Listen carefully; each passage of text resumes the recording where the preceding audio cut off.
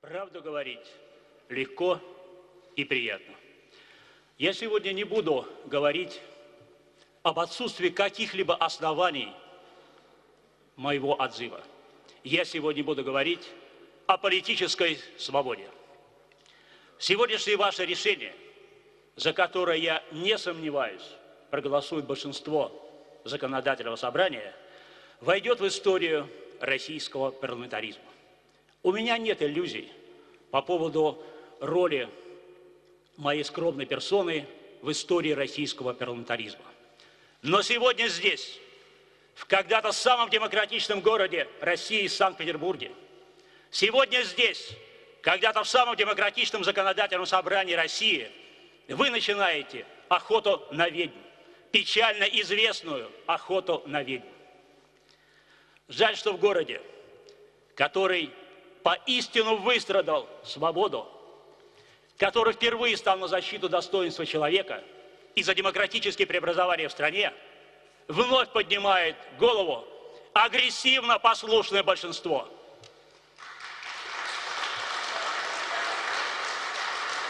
Вы сегодня, вы сегодня будете голосовать, по сути, за запрет на профессию.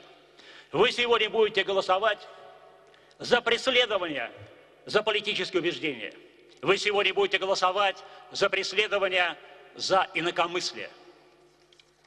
Сегодня, подчиняясь решению руководства ЕР, Единой России, этого профсоюза бюрократов, вы запретите мне быть членом Совета Федерации. Завтра вы, единороссы, запретите учителям без партийного билета ЕР учить наших детей. А послезавтра нельзя будет работать, например, водителем маршрутки или лечить людей врачом, если не иметь в кармане, в кармане билета партийного, так называемой партии власти. Конечно, всякие исторические параллели условны.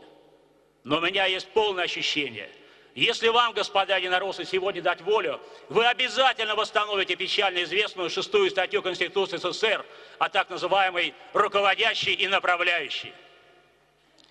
Похоже, вы подзабыли, чем в 91 году окончилась монополия одной партии. Плохо помните историю, господа. Так сколько же можно жить по принципу, если понадобится ваше мнение, мы вам его сообщим. Не настала ли пора, и, может быть, сегодня как раз прислушаться к голосу совести, голосу большинства граждан нашего прекрасного города, и все-таки, в конце концов, вспомнить слова Александра Солженицына и начать, наконец, жить не по лжи. Больно видеть, во что превратилось наше законодательное собрание. Ведь сегодня это, по сути, всего лишь не главное подразделение Смольного, который, которым управляет губернатор, деятельность которого не приемлет большая и лучшая часть петербуржцев – А председатель законодательного собрания лжет с этой трибуны. Публично, в глаза всем лжет. Под телекамеры, которые смотрят, и э, трансляцию смотрят миллионы людей. И он ничтоже сумняшество лжет, и у меня к тому есть доказательства, в свое время я их предоставлю. Вам не нравится, что я говорю о госпоже Матвиенке? Вам не нравится, что я говорю о господине Тюльпанове? Вам не нравится, что я говорю о Единой России?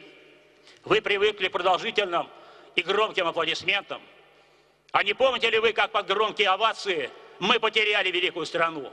И не кажется ли вам, а может быть в страшных снах вам уже снится, что вы идете снова, как дежавю по проторенной дорожке, и снова ведете страну к краху? Ваши вопросы и даже результаты сегодняшнего голосования меня абсолютно не волнуют. Меня и моих единомышленников, моих настоящих сторонников, а не предателей, волнует судьба нашего города, волнует судьба России. Сколько директоров школ, сколько глав врачей поликлиники больницы, вы из-под палки застаскиваете, загоняете свою партию, господа единороссы. А с каких бюджетников вы, наоборот, изгоняете за то, что они посмели публично высказать симпатии другим партиям? По всей стране сегодня социальные лифты практически оборваны. Кадровой политике процветает кумовство. Дети высоких чиновников занимают все теплые места. И вы считаете, что так и должно быть. Сегодня вы еще раз доказали, что Единая Россия, вместе, к сожалению, с коммунистами и либеральными демократами, к счастью, я знаю, не со всеми из них, ведете Россию к политическому тупику. И сегодня, когда в нашем законодательном собрании эти две фракции, еще раз подчеркну, я знаю, что не все из них, но, к сожалению, и коммунисты, и либеральные демократы находятся у вас на подтанцовке, на это больно просто смотреть, когда кто-то с этой трибуны говорит, что якобы они настоящая оппозиция. Но мне сегодня остается надежда. Надежда, что скоро в нашей стране, в нашей современной политической системе обязательно наступят перемены. Потому что страна, люди ждут этих перемен. Люди не хотят жить так, как они живут сегодня. Люди хотят получить простые ответы на очень важные вопросы. В какой стране мы живем? Какую страну мы строим? Что мы передадим нашим детям и нашим внукам? И что нас ожидает всех вместе? Если кто-то думает, утешая себя мыслью, что лимит революции для России закончится в 20 веке, а вдруг это не так? Кто сегодня может дать ответ на этот вопрос? И не явится сегодняшнее ваше заседание неким катализатором тех процессов, которые пойдут по совершенно никому неизвестному пути. И я сегодня хочу сказать, единственное возможное условие недопущения катастрофы – это уже сегодня реальная политическая конкуренция, реальная многопартийность, защищенная как законом, так и волей власти. Если мы это не сделаем, я опасаюсь, что нас ждут непростые времена. Если этой надежде моей не суждено сбыться, то часы российского охранительного консерватизма быстро свое отобьют, как уже отбили свое часы доморощенного российского либерализма. И что будет тогда, непонятно. Как я уже сказал, теша себя мыслью, что лимит на революцию закончен, это возможно питать большие иллюзии. Отношение к оппозиции является важнейшим показателем цивилизованности и политической культуры правящего класса. Господин Грызлов в Волгограде заявил, что член Совета Федерации не является народным избранником, он представитель власти. Вот так. Это мы хорошо помним. Дума не место для дискуссий, а член Совета Федерации не народный избранник. На всякий случай напомню третью статью Конституции Российской Федерации. Носителем суверенитета и единственным источником власти в Российской Федерации является ее многонациональный народ. Именно поэтому член Совета Федерации по определению и по Конституции, конечно же, народный избранник. И являясь таковым, должен нести всю ответственность и, соответственно, конституционные обязанности перед всем народом, который он представляет. В моем случае это перед петербуржцами, а не перед какой-либо партией. Вы знаете, что я неоднократно предлагал перейти к выборности членов Совета Федерации.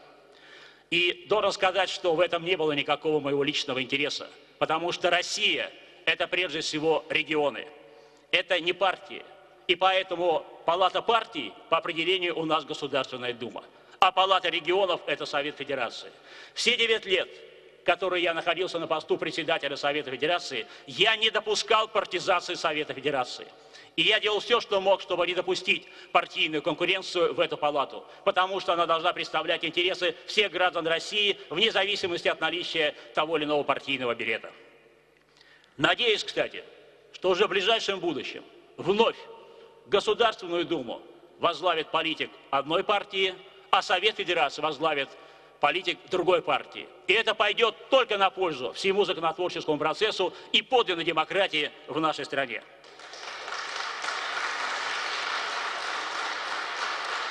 Голосуя сегодня за мой отзыв, вы, по сути, признаете, что критика нашей партии «Справедливой России», вас, господа недоросы, была справедливой, и она достигла цели. И мы теперь еще более уверенно будем идти именно таким путем. Так и будем продолжать. Если вы полагаете, что сегодняшнее голосование поставит точку на политическом будущем «Справедливой России», то вы глубоко заблуждаетесь. Борьба только начинается. И я вас уверяю, она будет не в вашу пользу. И наша партия в этой борьбе будет отстаивать не какие-то посты, а будет отстаивать интересы подавляющего большинства россиян. Стране нужны сегодня люди, которые не боятся говорить, говорить правду. И люди, которые не боятся бороться за справедливость. Только с такими людьми Россия имеет будущее. Я не говорю «прощай» стенам этого зала, которые за 17 лет по-настоящему стали для меня родными. Я говорю всего лишь навсего «до свидания», потому что в декабре этого года, стоя на этой трибуне, я буду поздравлять с избранием председателя законодательного собрания Санкт-Петербурга, представителя нашей партии «Справедливая Россия». Так будет. До встречи в декабре.